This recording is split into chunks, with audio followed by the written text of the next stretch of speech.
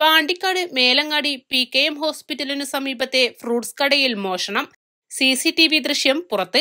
Pandikkad Melattur road fruits കടയിൽ പുലർച്ചെയാണ് മോഷണ ശ്രമം നടന്നത്. വഴിയോര കച്ചവടക്കാരനായ നാസറിന്റെ വഴിയോരത്തുള്ള ഷെഡിലാണ് മോഷണം നടത്തിയത്.